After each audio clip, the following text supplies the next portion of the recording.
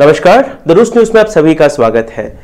14 फरवरी 2019 को पुलवामा में हुए हमले में जो 40 जवान हमारे शहीद हुए, उसको लेकर हम सभी में क्रोध है, हम सभी में गुस्सा है, हम सभी दुखी हैं। एक और कुनबा यहाँ पर घूम रहा है, जिसको आप आईटी सेल भी कह सकते हैं।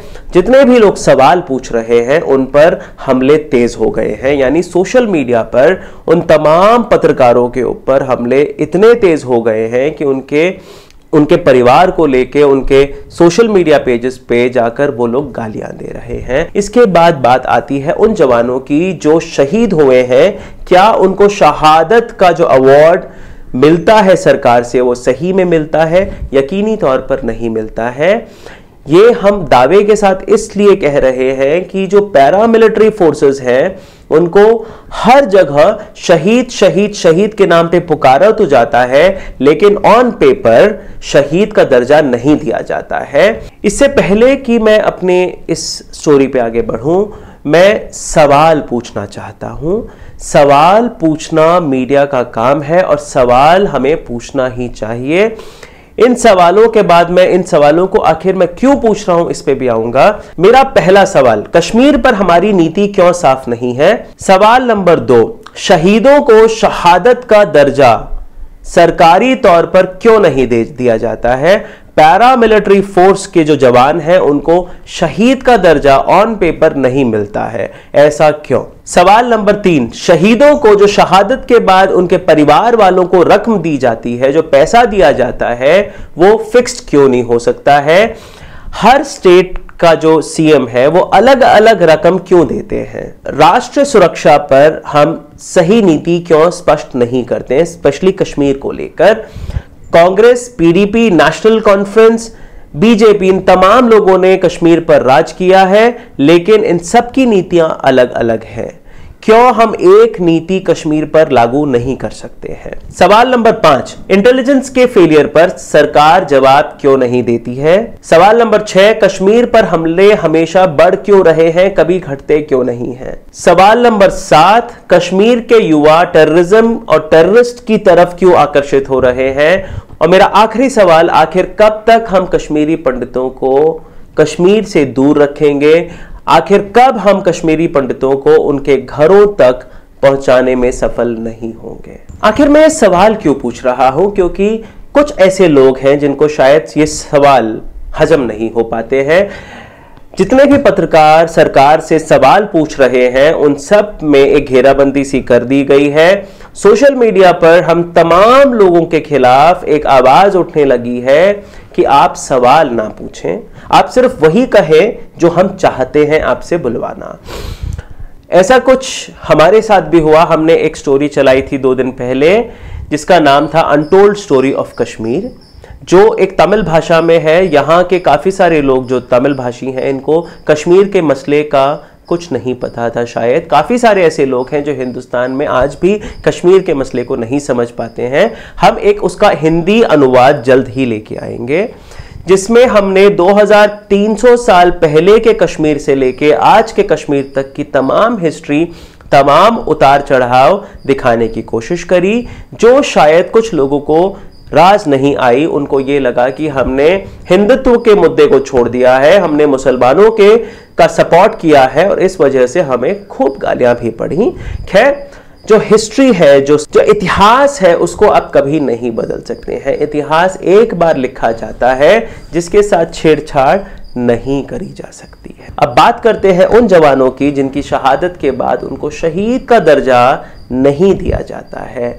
आप सही सुन रहे हैं, हमारे तमाम टीवी चैनल्स, हमारे तमाम जो राजनेता हैं, वो ढोल पीट रहे हैं, नगाड़े पीट रहे हैं, ये कह के कि शहीद शहीद और शहीद। पैरामिलिट्री फोर्सेस के उन जवानों को शहीद का दर्जा नहीं दिया जाता है ऑन पेपर जिस तरह से ये बोल रहे हैं। जो शहीद का दर्जा है, वो एयरफोर्स आर्मी और नेवी के जो जवान हैं, वो अगर वॉर फ्रंट में शहीद होते हैं, उन्हीं को शहीद का दर्जा दिया जाता है। जो हमारे ये 40 जवान शहीद हुए, उसके बाद चार और जवान शहीद हुए, जो सीआरपीएफ के माने जाते हैं, उनको ऑन पेपर शहीद का दर्जा नहीं मिल सकता है। यानी एक भारत है जहाँ पर काफ़ी सारे पैरामिलिट्री फोर्सेस हैं आर्मी है नेवी है एयरफोर्स है इन सभी को हमने ग्रेड में, श्रेणी में बांट रखा है। यानी अगर आर्मी में है, आपको ये चीज़ें मिलेंगी, आप नेवी में है, आपको ये ये चीज़ें मिलेंगी, आप एयरफोर्स में है तो आपको ये तमाम चीज़ें मिलेंगी। अगर आप पैरामिलिट्री फोर्स में है तो आपको सिर्फ़ ये मिलेगा, लेकिन शहीद का दर्जा नहीं मिलेगा। 11 जुलाई 2018 की एक खबर है, जो द इकोनॉमिक टाइम्स में छपी थी। उसमें यह कहा गया no marital status to paramilitary personnels government tells to high court यानी जो पैरामिलिट्री के जो फोर्सेस हैं, यानी बीएसएफ सीआरपीएफ सीआईएसएफ या फिर असम राइफल्स इन जैसे जो पैरामिलिट्री फोर्सेस हैं, इनके जवान अगर शहीद होते हैं तो ऑन पेपर इनको शहादत का दर्जा नहीं दिया जाता है, यानी शहीद नहीं माना जाता है। बात यहीं तक नहीं रुकती है 2017 पे जो मौजूदा सरकार है, हमारी बीजेपी की सरकार, ये पहले ही बता चुकी है कि पैरामिलिट्री फोर्सेस के जवानों का ड्यूटी पर शहीद होने पर शहीद शब्द का इस्तेमाल नहीं किया जा सकता है। इसके अलावा 14 मार्च सन 2017 को लोकसभा में पूछे गए एक सवाल के जवाब में गृह राज्य मंत्री किरण रिजोई ने यह साफ़ किया था किसी कार्रवाई में मारे गए पैरामिलिट्री या फिर असम राइफल के जवानों के लिए शहीद शब्द का इस्तेमाल नहीं किया जा सकता है। ये हमारे लिए शहीद है इनको हम शहीद मानते हैं। इनके प्रति जो शहीद जो कागज़ में आप लिखते हैं, उससे ज़्यादा हमारे दिलो दिमाग में इनकी शहादत बस चुकी है।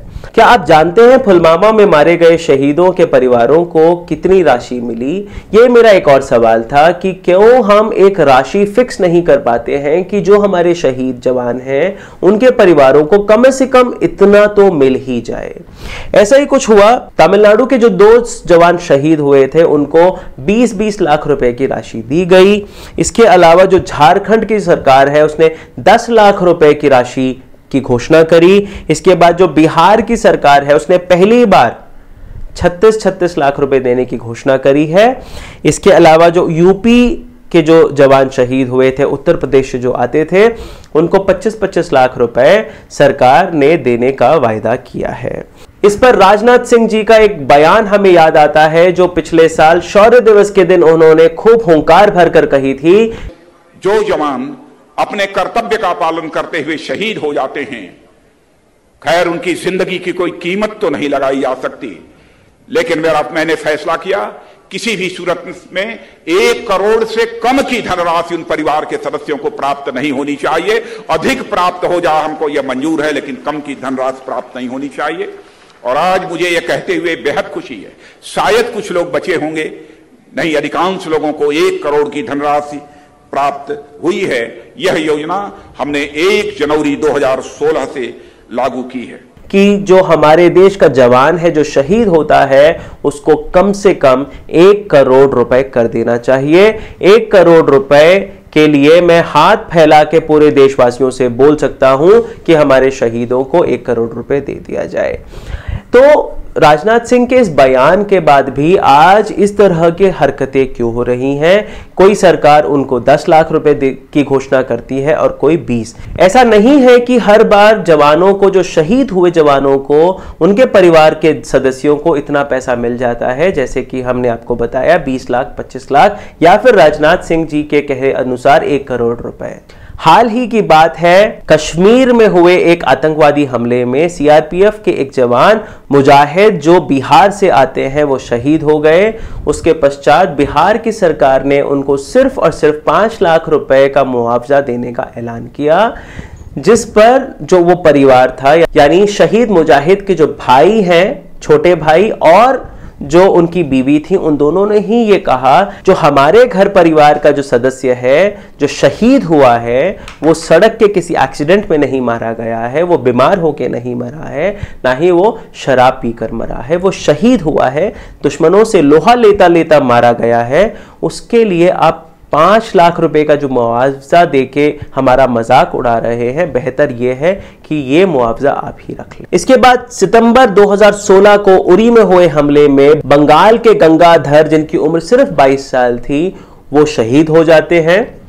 उनके परिवार को जो बंगाल की सरकार है, ममता बनर्जी की सरकार है, वो दो लाख रुपए मुआवजे का ऐलान करती है। सोच के देखिए, एक जवान लड़का जिसकी उम्र सिर्फ़ 22 साल थी, वो शहीद हो जाते हैं, हमारे देश के लिए कुर्बान हो जाते हैं और बंगाल की सरकार सिर्फ़ दो लाख रुपए के मुआवजे का ऐलान करती है। जो ममता बनर्जी हैं, इनकी पेंटिंग ही दो से तीन करोड़ रुपए की बिक जाती है। जो इनके कैबिनेट के मंत्री हैं, उनकी तनख्वाह इससे कई गुना ज़्यादा हो जाती है, लेकिन ममता बनर्जी का दिल नहीं खोला एक ऐसे शहीद के लिए जो उन्हीं के स्टेट का था, जिसको दो लाख रुपए का मुआवजा देने का ऐलान किया गया। इस पर उनके पिता ने यह कहा कि मुझे ये पैसे नहीं चाहिए, मेरा बेटा शहीद हुआ है और शहादत के लिए सिर्फ़ दो लाख रुपए का तमाचा हमें नहीं खाना है। उसके पश्चात गंगाधर के अंतिम संस्कार के लिए उनके पिता ने दस हज़ार रुपए का कर्ज लिया। क्या इससे ज़्यादा शर्मनाक बात कुछ हो सकती है भारत में? इसके बाद छत्तीसगढ़ से हम एक घटना बताते हैं। नक्सली हमले में सीआरपीएफ के एक जवान अजय कुमार शहीद हो जाते हैं। उनको भी बिहार की सरकार सिर्फ़ पाँच लाख रुपए का मुआवजा ऑफ़र करती है, जिसपे उनकी पत्नी उसको ठुकरा देती है। राजनाथ सिंह एक तरफ़ एक करोड़ रुपए मुआवजा देने का ऐलान करने की कोशिश करते हैं और दूसरी तरफ़ सारी राज्य की सरकारें इस तरह से मोल भाव करती नज़र आती हैं। आखिर क्यों हम अपने देश के जवानों को एक सही मायने में शहीद का दर्जा नहीं दे पाते हैं? यानी जो पैरामिलिट्री फोर्स के जो जवान हैं, उनको शहादत का एक तोहफा जो कहा जाता है शहीद होने का, वो क्यों नहीं मिलता है? उसके पश्चात जो एक रकम है जो उनके परिवार वालों को पहुंचनी होती है वो ज़्यादा से ज़्यादा क्यों नहीं होती है? यकीनन एक करोड़ रुपए भी कम होते हैं एक, एक शहीद के परिवार वालों के लिए जिसने अपना जवान बेटा खो दिया है।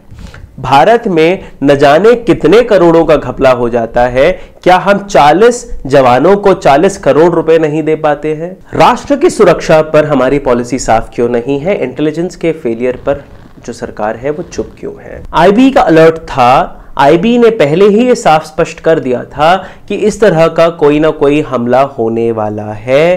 तो क्यों हमारे जो जवान थे, बर्फबारी के चलते जब वो सड़क वहाँ पर रुक गई थी तो क्यों उनको एयरलिफ्ट नहीं किया गया? उनको अपनी अपनी जगह क्यों नहीं पहुँचाया गया? क्यों उनको सड़क के माध्यम से श्रीनगर तक ले जाया गया? सत्तर बसों में भरकर जब एक राजनेता अपने एक इलेक्शन कैंपेन के लिए जाता है तो वो उसको हेलीकॉप्टर मुहैया किया जाता है। जो राजनेता है, वो अपने ही इलाके में भी अगर उसको घूमना हो तो हेलीकॉप्टर या फिर हवाई जहाज़ का इस्तेमाल करता है। ये हमारे देश के वो जवान हैं, जो हमारी सुरक्षा में दिन रात एक करते हैं। हमारा जो फाइनेंशियल सिस्टम है, जो हमारा बजट है डिफेंस के लिए सबसे ज़्यादा रखा जाता है। यानी जो पैसा हम टैक्स पेयर्स देते हैं इनको तो वो पैसा जाता कहाँ है? क्यों इनको एयरलिफ्ट नहीं किया जाता है? वो भी तब जब हमला होने का अंदेशा पहले से ही था। इंटेलिजेंस रिपोर्ट के तरफ़ गौर क्यों नहीं किया गया?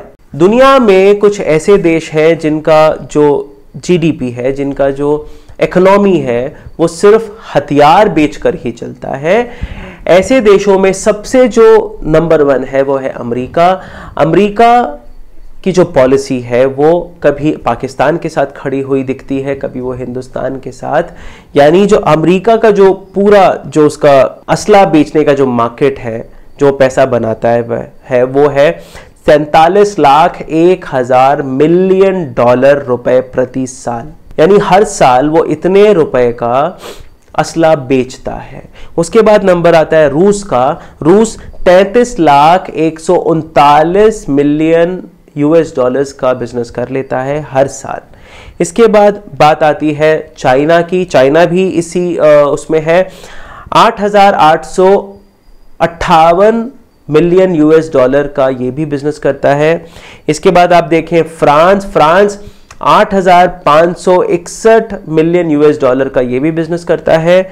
इसके बाद जर्मनी तकरीबन तकरीबन 8,000 मिलियन यूएस डॉलर्स का ये भी बिज़नेस करता है। हथियार बेचकर ब्रिटेन 6,542 मिलियन यूएस डॉलर का ब्रिटेन भी हथियार बेचता है।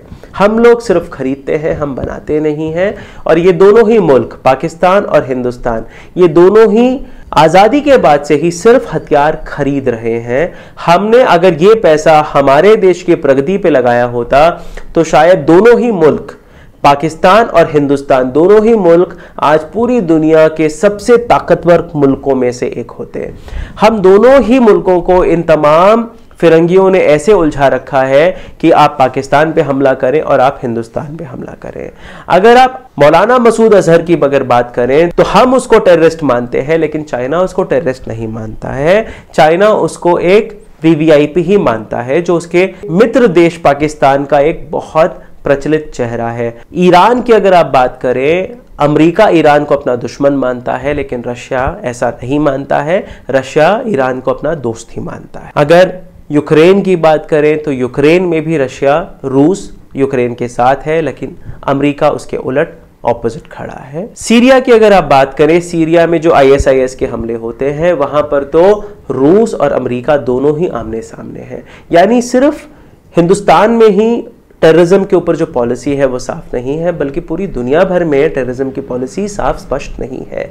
एक देश के लिए कोई अच्छा है तो दूसरे देश के लिए कोई बुरा है। अलकायदा की जो पैदाइश है वो अमेरिका की है और अंत में अलकायदा के ही खिलाफ अमेरिका ने जंग छेड़ दी थी और एक ऐसी जंग छेड़ी कि एक पूरा का पूरा देश तबाह हो गया। यानी आप असला बनाते हैं, इसका मतलब ये नहीं कि एक कंट्री आपको मिल जाए जहाँ पे आप बंदूकें दाग दे, गोलियाँ दाग दे और वहाँ की जो आम जनता है उसको मार डाले। जब तक भारत और पाकिस्तान इस तरह से असले बारूद खरीदना बंद नहीं करेगा, शायद हमारे देश में या फिर पाकिस्तान में भी टेररिज्म का जो आतंक है, वो खत्म नहीं होगा। यूरी के, यूरी हमले का जवाब हमें देना ही चाहिए। पुलवामा हमले का जवाब भी हमें देना चाहिए, लेकिन ये भी सोचना चाहिए, अमेरिका, रूस, चाइना जैसे जो देश हैं, ये किस तरह का खेल हम लोगों के साथ खेल रहे हैं। ये वो तमाम देश हैं जिन्होंने हमें एक मार्केट बना के रख दिया है। हमारे बाजारों पे ये सिर्फ़ अपने असले बेचना चाहते हैं और उस असले को बेचने के लिए इस तरह के टेररिस्ट को भी ये लोग पनाह देते हैं। उनको ये उकसाते हैं ताकि वो हमारे ऊपर हमला करें और हम और असला खरीदें और गोला बारूद इन लोगों से खरीदें और इनकी जो, इनके जो बाज़ार है वो हमेशा सचते रहें। क्या आप चाहते हैं कि इस तरह का बाज़ार और आने वाली जनरेशन भी देखें, क्या आप चाहते हैं कि इस तरह का कश्मीर आने वाले और ज़माने तक भी रहे? हमारे शहीदों को हम सलाम करते हैं, नमन करते हैं और इसी के साथ आप सभी से इजाज़त चाहते हैं। ज़रा सोचिए, क्या हमें कश्मीर और असला बारूद में किसको चुनना चाहिए? कमेंट बॉक्स में लिखें, क्या हमारा साथ रूस अमेरिका हमेशा देता रहेगा? यकीनन नहीं, सत्तर सालों में हमने कभी कुछ नहीं पाया, सिर्फ़ खोया है कश्मीर में।